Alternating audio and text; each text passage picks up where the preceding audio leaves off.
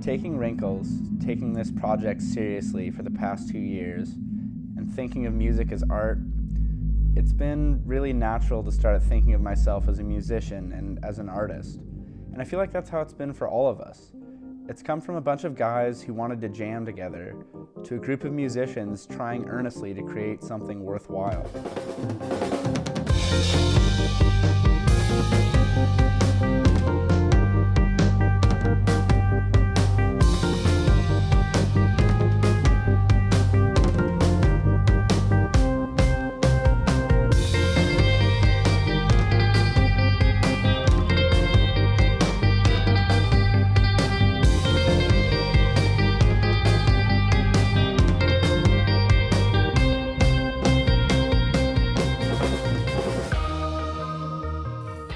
I think we all have strong ties to Montana, not only because it's this beautiful place where we've grown up, but because of the amazing people here who've surrounded us this project has progressed. It's been pretty awesome.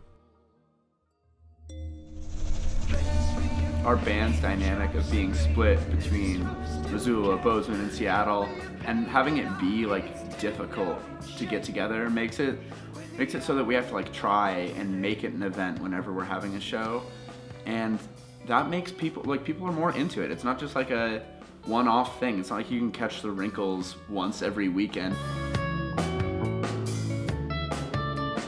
I feel like our shows are kind of like meeting points, like reunions, Reunions. Yeah. almost. Yeah, like you get to see friends you haven't seen in six months or a year, and meet new friends too. But it's like a it's it's a really fun time.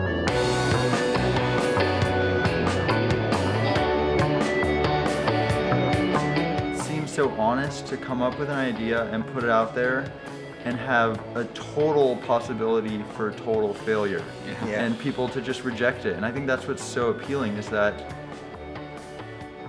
there's so much room for failure and that's like makes it all more worthwhile to do.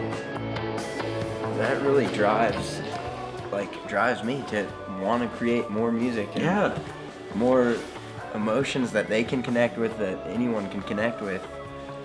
And it's, yeah, it's really cool to have people behind your music that are like driving forces in why you make music. You know?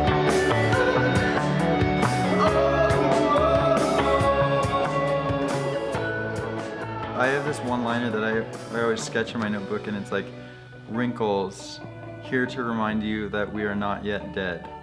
And it's kind of hilarious because it's like, in a lot of ways, that's what it is. It's like, like what that's actually saying is like, we're fucking alive, and this is Yeah. awesome. Yeah. yeah. But it's also conveying that, you know, like life's also full of hardship and we're all gonna die and our families are all gonna die. But like in the most optimistic way, like this is what we got and we gotta do the coolest things we can do with it.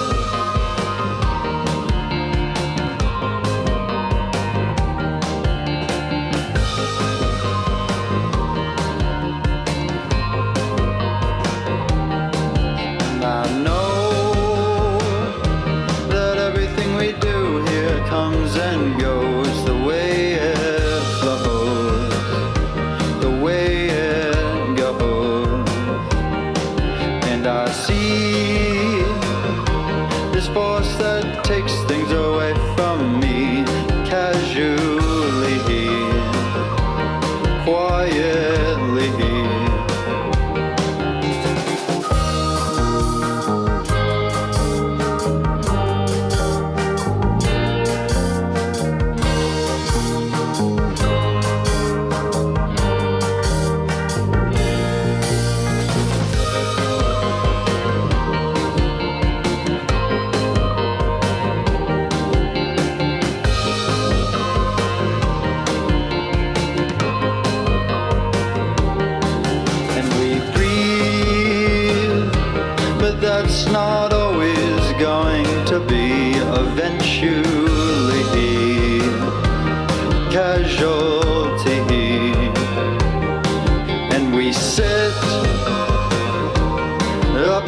on throne above the ground. Let me down.